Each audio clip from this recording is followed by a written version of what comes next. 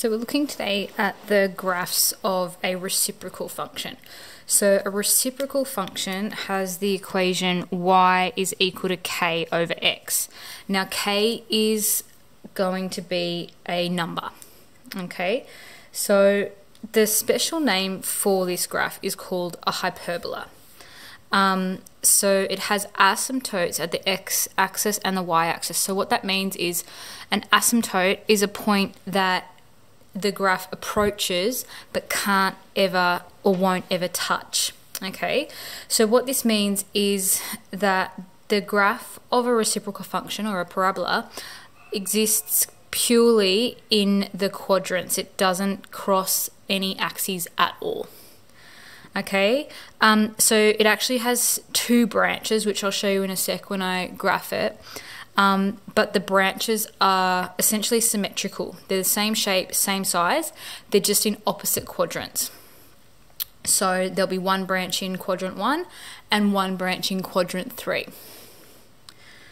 Okay, so to graph a hyperbola, just like any other graph, we make a table of values, we draw our number plane if we don't have one already, um, we plot our points, and then we join our points. Now, remembering it is a curve, okay, so um, you do it is there is an element of estimation, um, but you do need to make sure that you are not ruling um, between the points. Okay, it is a curve. Um, so as I said before, the name of the graph is called a hyperbola. All right, so if we have a look at our example, we've been asked to draw the graph of y is equal to 2 over x. Okay, so that takes the form y equals k over x. In this case, our k value is simply 2. So what I'm going to do, following my steps, I'm going to make a table of values. So I have x and I have y.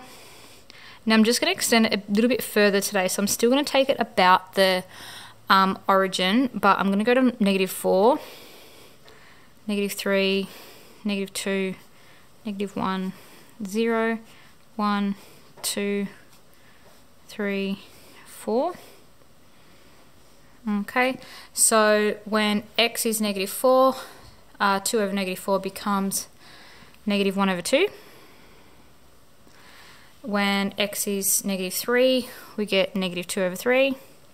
And fractions are absolutely fine to use here. If you didn't use a fraction, it would be a decimal, and this negative 2 thirds would have to be approximated. Um, so fractions, as I said, are absolutely fine.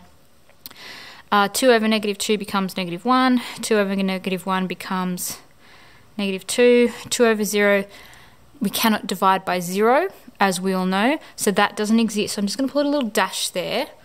Okay, and that's exactly what I said before because normally we would find when x equals 0, that's where our graph crosses the y-axis, but a hyperbola does not cross the y-axis. It doesn't cross the x-axis either. So you'll find um, that the graph also doesn't exist when y equals 0.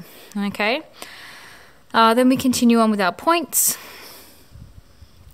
And we have 2 over 1 is 2, 2 over 2 is 1, 2 over 3 is 2 over 3, and 2 over 4 is 1 over 2. Okay, so now we have our table of values, we have our um, pairs of coordinates that our graph will run through. So now I'm going to graph that. Um, I will need to cover my table of values, but that's okay. So I've know um, my graph runs through negative 4, negative a half.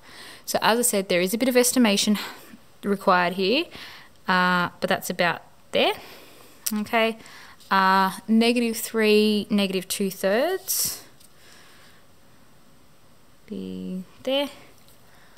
And then we have negative 2, negative 1.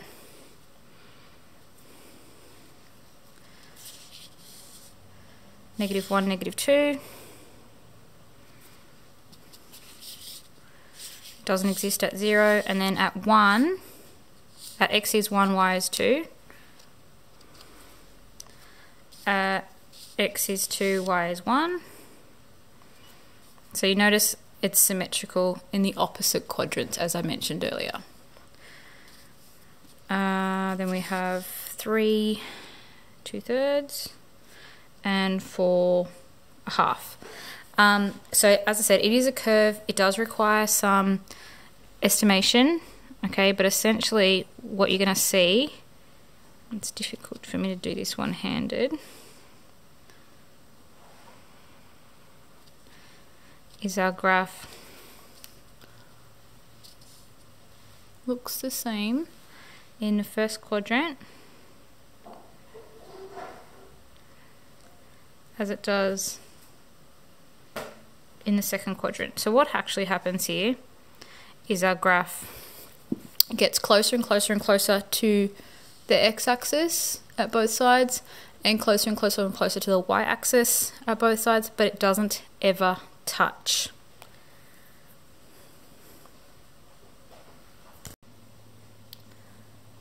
So I just want to show you what happens when we're graphing a hyperbola with different values of k. Alright, so if I got y equals um, 1 over x, okay, that's our, I guess, our basic hyperbola. And then if I have larger values of k, so y equals 5 over x,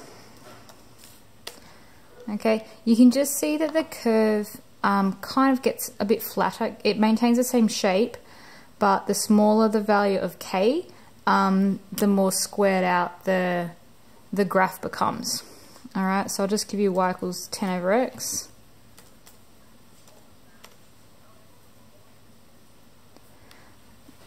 So it's just it's the same shape, it's just getting flatter and flatter as the value of k gets bigger. Now if we've got um, negative values of k, I'll show you what happens.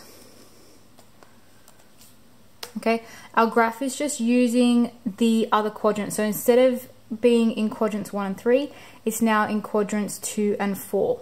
So same shape, same graph, just in the opposite quadrants. Hopefully that was helpful for you to visualize what a hyperbola is.